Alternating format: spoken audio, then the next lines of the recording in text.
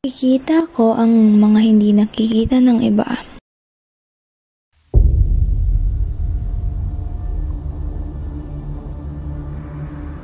Mga multo at ibang espiritu ay parang naging normal na.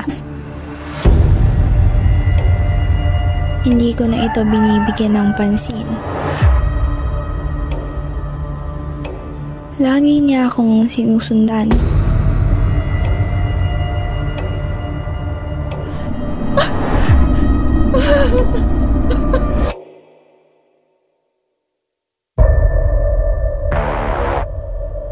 Ako naman si Vincent at may sekreto ako.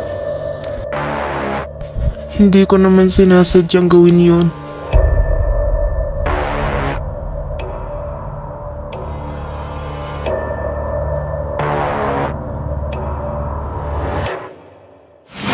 Hoy, ikaw! Alam ko na ang ginawa mo.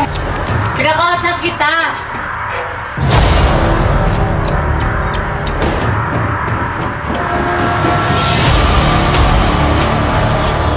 Huwag na huwag kang maniniwala kay Vincent.